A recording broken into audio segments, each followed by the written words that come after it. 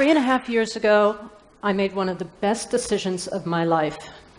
As my New Year's resolution, I gave up dieting, stopped worrying about my weight, and learned to eat mindfully. Now I eat whenever I'm hungry, and I've lost 10 pounds. This was me at age 13 when I started my first diet.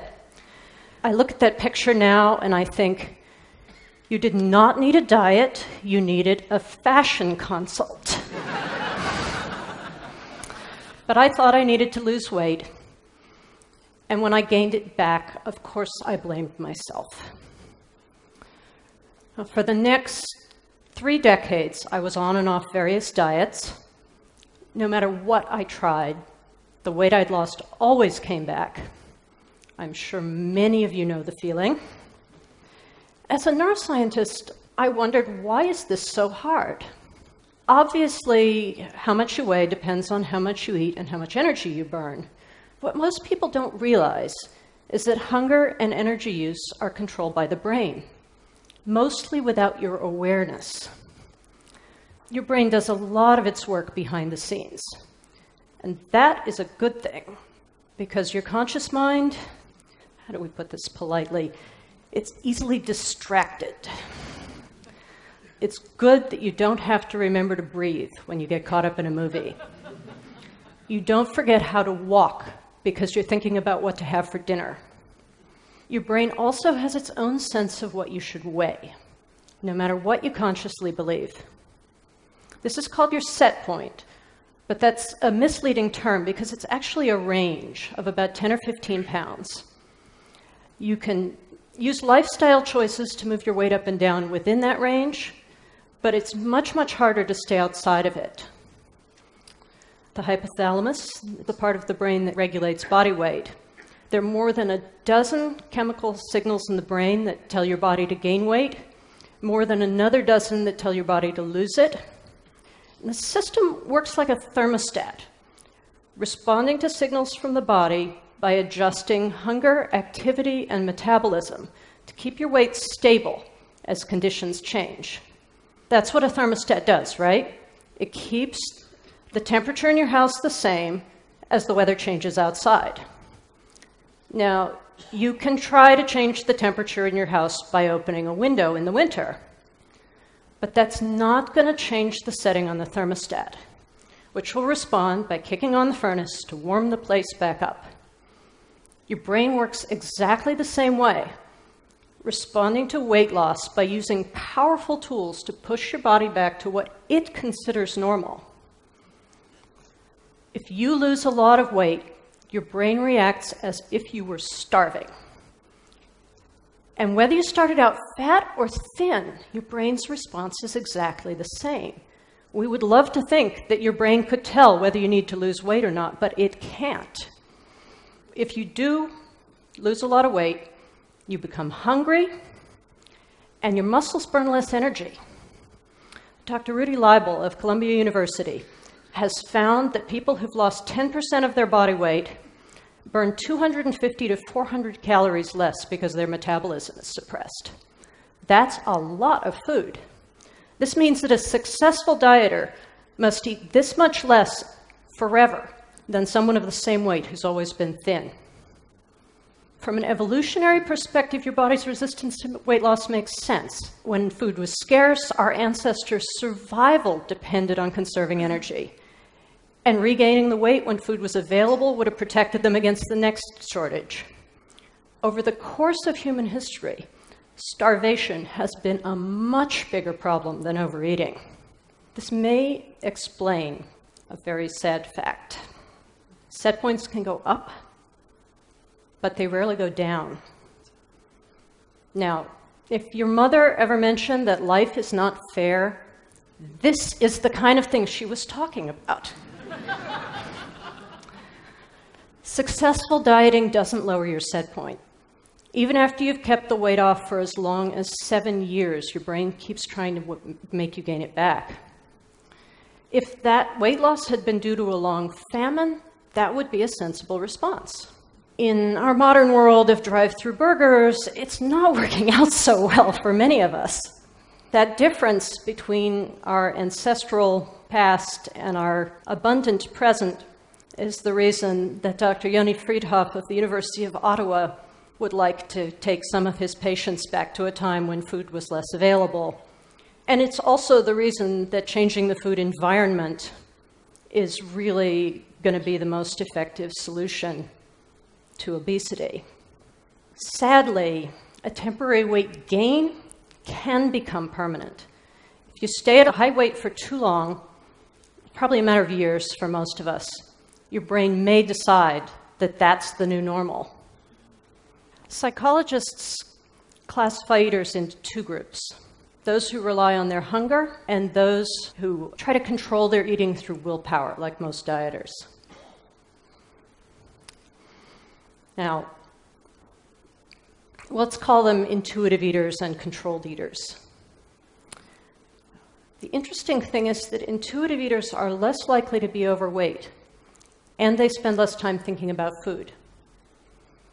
Controlled eaters are more vulnerable to overeating in response to advertising, supersizing, and the all you can eat buffet. And a small indulgence, like eating one scoop of ice cream, is more likely to lead to a food binge in controlled eaters.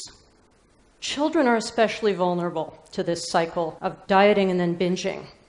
Several long term studies have shown that girls who diet in their early teenage years are three times more likely to become overweight five years later, even if they started at a normal weight.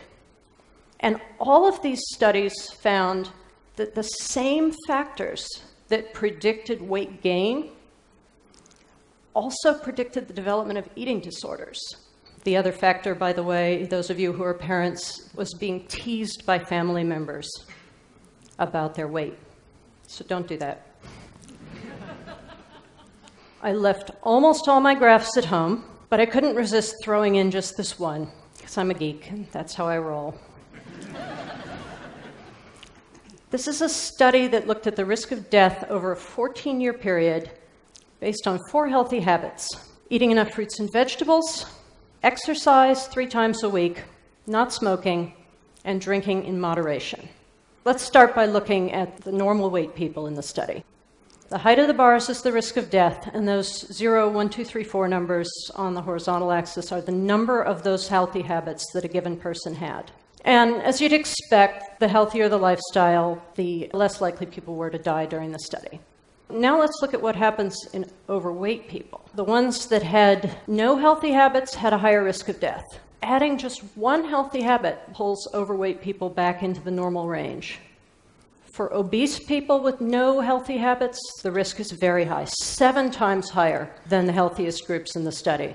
But a healthy lifestyle helps obese people too. In fact, if you look only at the group with all four healthy habits, you can see that weight makes very little difference.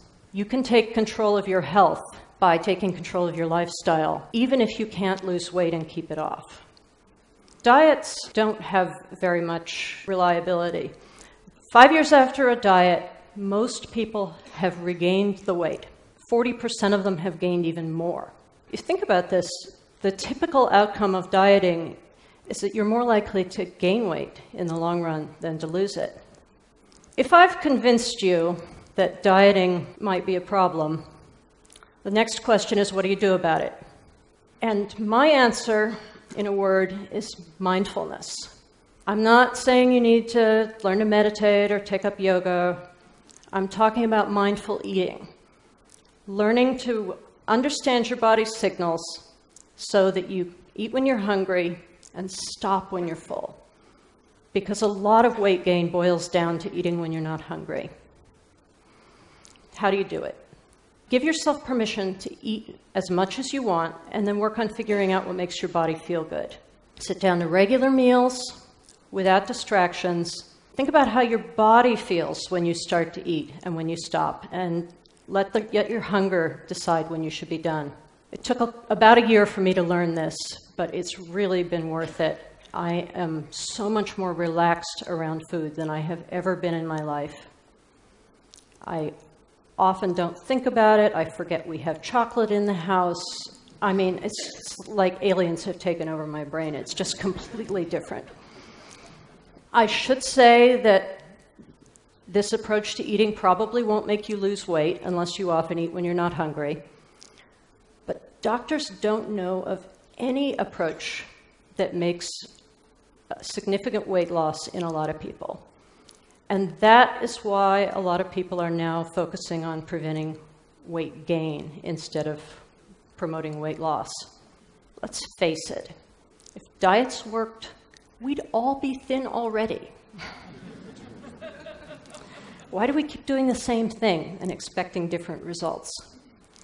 Diets may seem harmless, but they actually do a lot of collateral damage. At worst, they ruin lives. Weight obsession leads to eating disorders, especially in young kids. In the US, we have 80% of 10 year old girls say they've been on a diet. Our daughters have learned to measure their worth by the wrong scale. Even at its best, dieting is a waste of time and energy. It takes willpower, which you could be using to help your kids with their homework or to finish that important work project. And because willpower is limited, any strategy that relies on its consistent application is pretty much guaranteed to eventually fail you when your attention moves on to something else. Let me leave you with one last thought. What if we told all those dieting girls that it's okay to eat when they're hungry? What if we taught them to work with their appetite instead of fearing it? I think most of them would be happier and healthier. And as adults, many of them would probably be thinner. I wish someone had told me that back when I was 13. Thanks.